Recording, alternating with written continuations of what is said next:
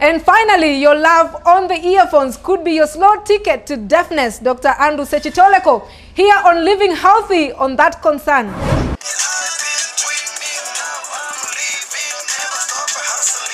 It's now a trend, especially among the youth, to always have earphones or headphones on. David Opini has had a pair of earphones as his closest companion for the past five years. Not even the recent headaches he has been suffering have made him give up the habit. The only thing I experienced was in 2010 when I was experiencing headache. It was like a constant one. That disturbed me a lot. It's because by that time I was ever with headset. Even when I used to sleep, I used to sleep with it. Eating, um, there, everything I do, I used to do with it. For Dennis Naimuli, having earphones is a must to keep up with the latest gospel jams. I use these headsets because I don't want to interrupt other people. You know, it is quite flexible. You can use it uh, while traveling. You can, it can be somewhere like you are in a, a public place. So it is, it is flexible. It doesn't interrupt other people.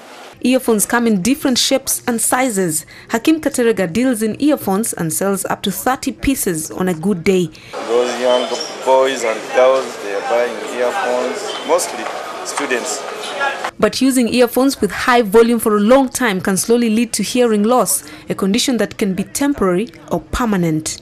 When you fall asleep with the earpieces in your ear, trust me, a lot of friction going through your ear or the outer flesh of your ear. Next time you walk into the hospital and you have bruises all over the ear. Using earphones, headphones during, during exercises is not really advisable. No, as you see it, it's sweet, sweet life. Wow, that's interesting. Dr. Andrew Sechitoleko, thank you so much for making time for PM Live this afternoon. You're uh, welcome. And we are talking about the effects that listening to loud music might have on people. But before we get into the gist of that matter, do you listen to music yourself? Yes, I do. Um, and I love my music, yes. So, different types of music. Do you listen to any particular type of music, any genres? Well, I like the local artists, I like classical music, I like various types. I like West African music. And so. How about when it comes to the beats? Some are usually mellow, others upbeat, hyper. Is there anything you recommend concerning the beats? The beats.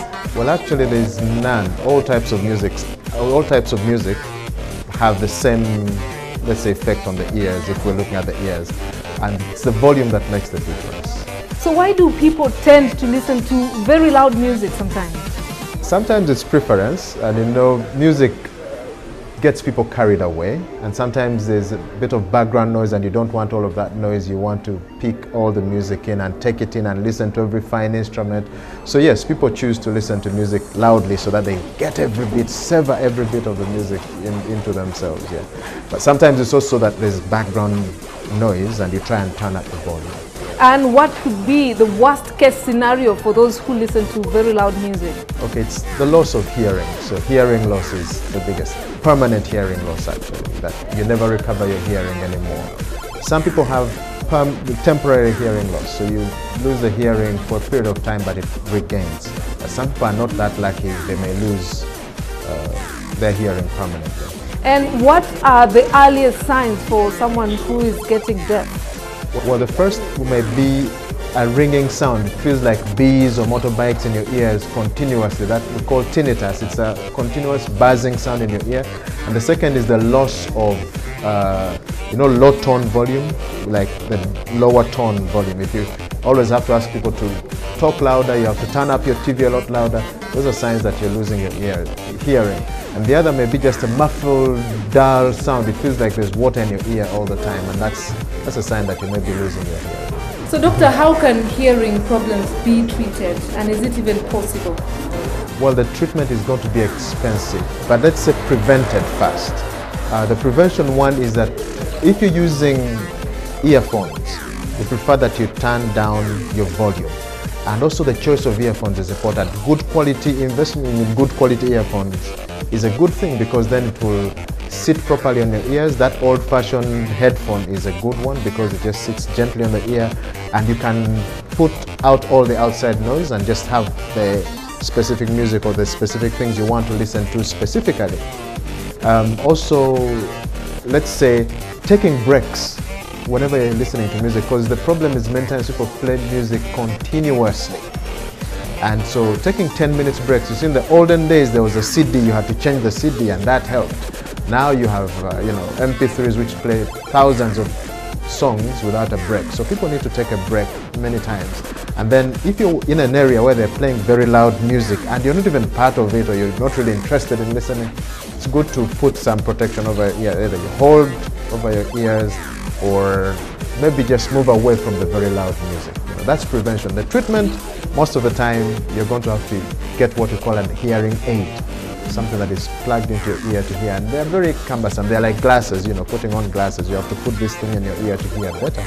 And you know sometimes actually most times they're very expensive. You know one piece a set could cost about maybe 800,000 to 1.5 the very high class could be 2 million shillings Uganda shillings. So it's expensive. So, Doctor, on Connect this afternoon, which is our feedback segment, we are asking, how do you like your music? Loudspeakers or earphones, and why?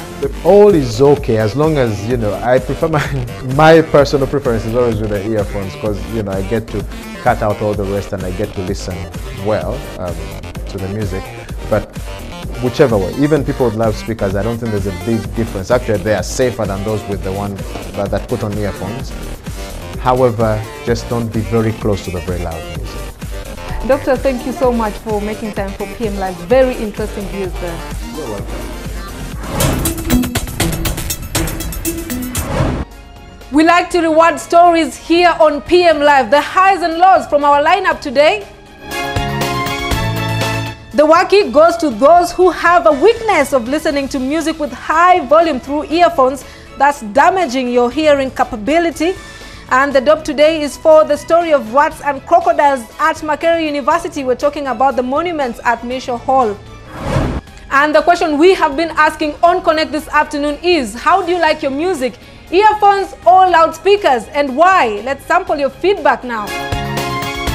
On Facebook, Dream Maxwell Joshua, big heavy souls like a speaker because I like to share my music with people so much.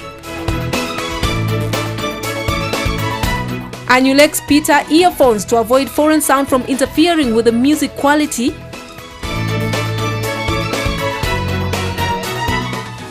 Silver P, amplified, well balanced speakers for sound quality. Rosette Glenn, I enjoy it best when I turn the speakers loud.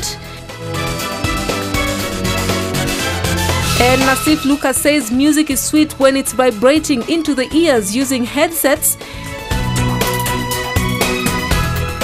And lastly, Thash Garang did headphones because really it brings a nice bass. And when I'm using it, I don't get any external sound which may interrupt me. Thank you so much for your feedback. Keep the conversations going on Facebook and on Twitter. The hashtag is PM Live. From me here and the team, enjoy the rest of your day.